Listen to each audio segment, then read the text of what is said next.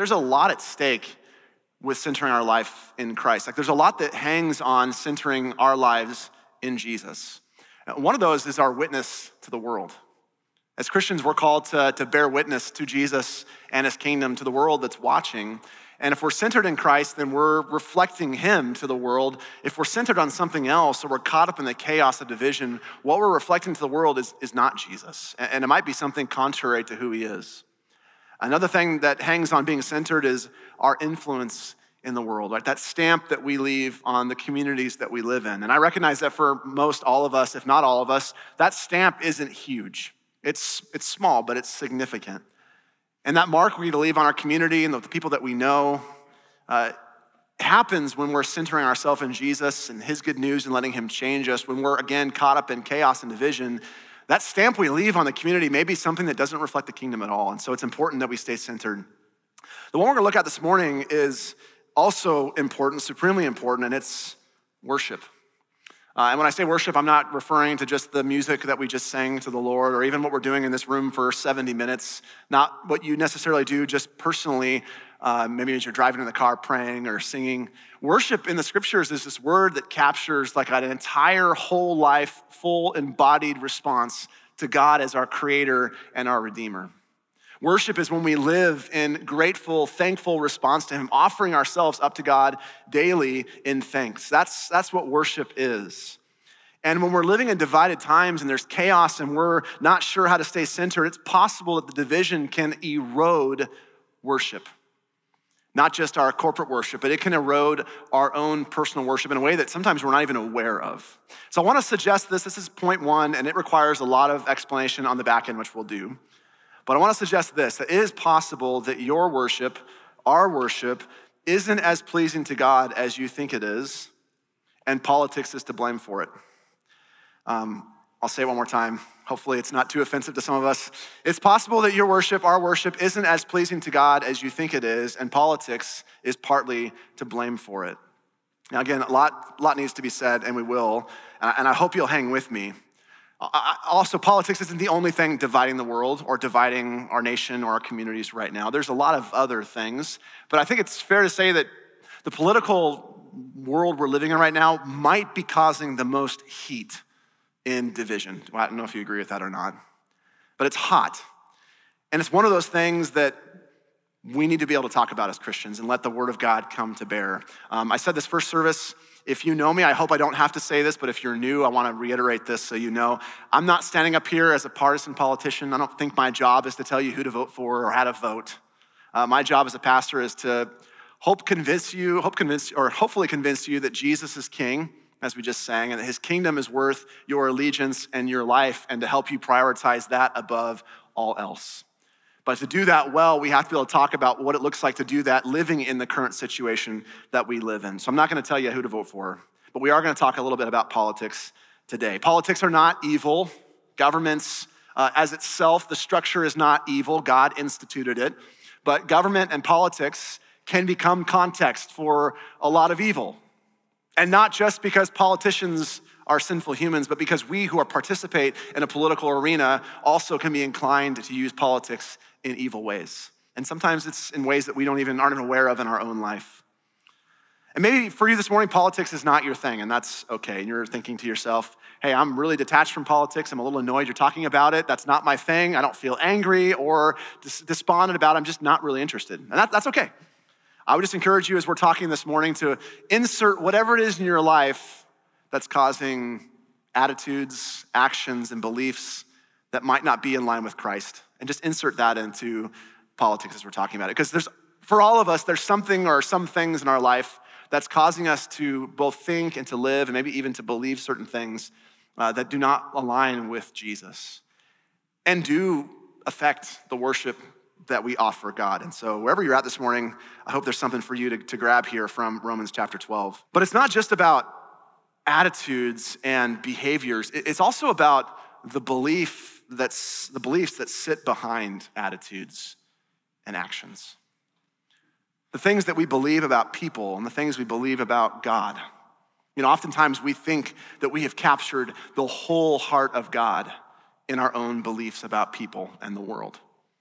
Whereas it's possible that we might be only capturing a fraction of who He is.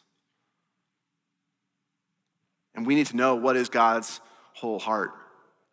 And, this is one of the, and we need to be renewed every day in the knowledge of who God is. And then re re renewed again and again and again every single day so that we become more and more like the Father and His Son and the Holy Spirit working in us. Now, politics, again, to bring it up, has this way about it among us Christians that it can kind of create tunnel vision, um, which is just a way of saying we might be seeing something to the exclusion of other things. Uh, because no one political party perfectly captures God's heart. Political parties, no matter what side it is, tends to latch on to one or a few things, some of which might capture God's heart, and then stand against other things that might actually reflect God's heart. And sometimes they have to be against something because the opposing party is for it, and rather than agreeing on it, it's just easier to say they're wrong. And so it creates tunnel vision, and sometimes Christians don't know what to do. Like, ah, where do I fit? Like, I agree with some of that, but not all of it. And sometimes you might be led to say, like, I'm just gonna go all in on this thing because I wanna belong. I don't wanna be a part of that group over here. And so you become a Christian that might partly reflect God, but you might inadvertently stand against something that God actually loves and cares about. Um, one, of the, one of the phrases that's used for this is package deal ethics, which is the idea that uh, it's not just politicians either, it's just the way that we think about our lives and groups of people. Like, you're, you're either all in or you're not. You can't say, yeah, I like those things, like a buffet. I don't like that people inside the group say, no, you, you, gotta, you gotta accept all of it or you gotta go join someone else. And you've probably experienced that before. Maybe, maybe it's in politics where you're sharing your view with someone that's pretty similar and yet you disagree on one thing and they're like, well, are you with us or are you not? You know, that's kind of the, the place that we're in. Tim Keller says this the emphasis on package deals puts pressure on Christians in politics. For example, following both the Bible and the early church, Christians should be committed to racial justice and the poor but also to understanding that sex is only for marriage and for nurturing family. One of those views seems liberal, and the other looks oppressively conservative. The historical Christian, historical Christian position on social issues do not fit into the contemporary political alignments. So, in this moment of political division, it's possible that we're being pulled either way to grab onto some things that reflect God's heart and against things that God loves and not capturing his whole heart.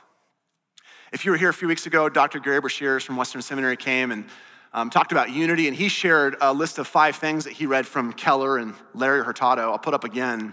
Uh, that just, again, just kind of demonstrates what this is like as a Christian. So, number one, um, the early church in the New Testament is committed to multiracial, multi ethnic church. If you read the book of Acts, the gospel is all about going to the ends of the earth, to every nation, tribe, and tongue, every skin color, every kind of person. The church is beautiful when it looks like that because that's what heaven looks like. Number two, commit, highly committed to caring for the poor and the marginalized. Jesus talks about that all over in the Sermon on the Mount.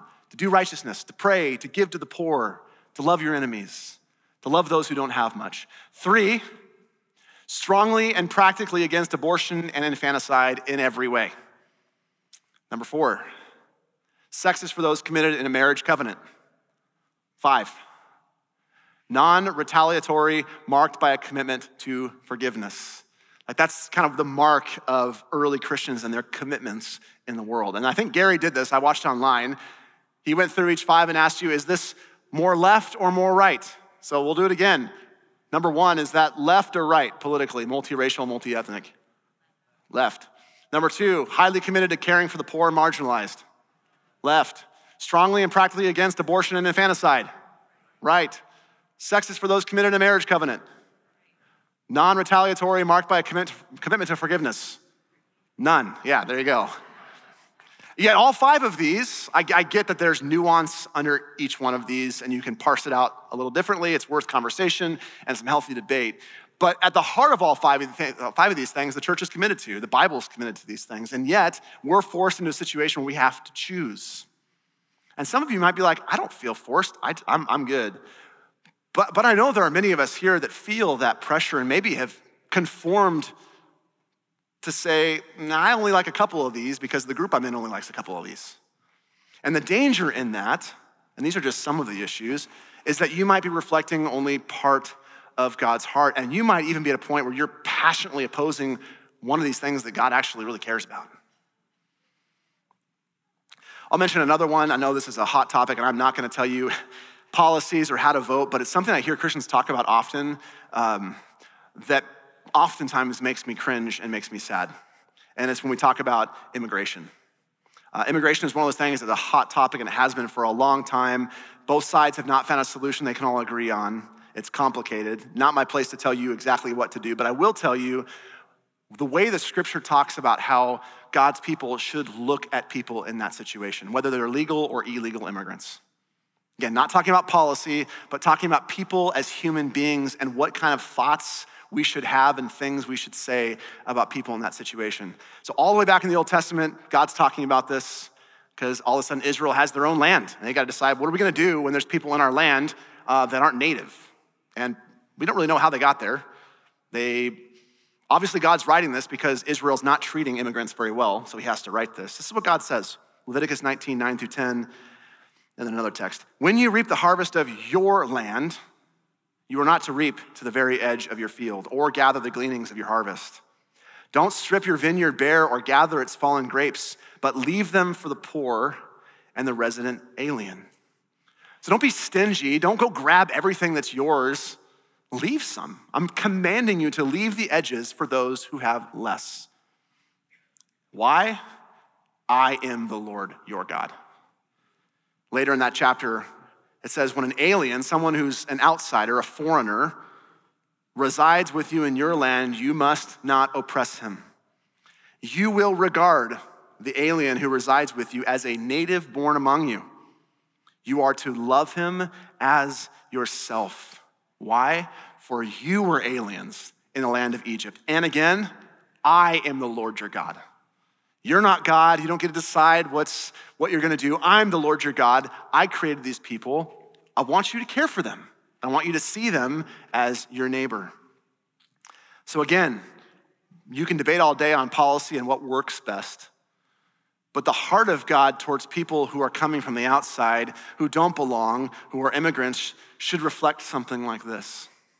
So while what you do is debatable at the border, what's not debatable is how Christians think and speak about immigrants, both legal and illegal. As Christians, yeah, you can say, I, I want you to do it a legal way, but I'm gonna love you, I'm gonna speak fairly of you, I'm gonna honor you as a human being.